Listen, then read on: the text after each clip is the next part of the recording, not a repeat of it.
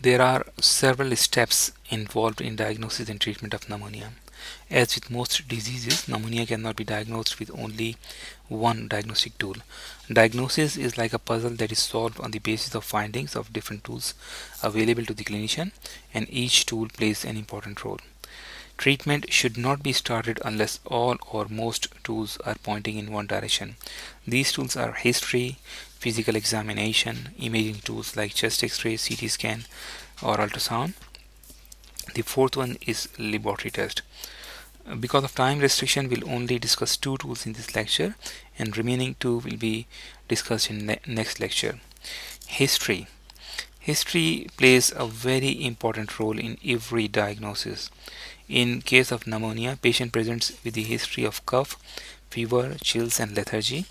But it is important to understand that many other conditions can and do present with similar symptoms. For example, cough and fever can also be caused by tuberculosis and cancer as well as number of other illnesses. So how do we make up our mind?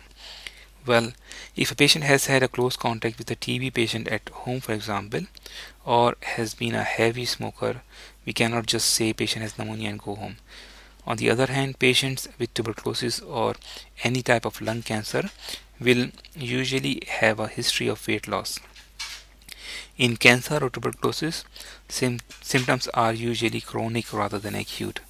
And in most cases of cancers, age also plays an important role, although there are exceptions. Age also plays an important role in diagnosing the type of pneumonia. It helps in identifying if the culprit is virus, bacteria or mycoplasma. Uh, pneumonia, for example, in children is mostly caused by viruses. Again, there are frequent exceptions. Children under 5 years of age are not affected by mycoplasma. Fever, high grade fever is most uh, mo most likely caused by bacterial infections. History of smoking, especially in elderly patients, you cannot easily rule out possibility of lung cancer. So for the sake of simplicity, let's assume that our patient is 25 years of age, does not have any history of smoking, does not uh, have any family history of cancer, has not lost any weight in recent past, and does not have any history of alcohol or drug abuse.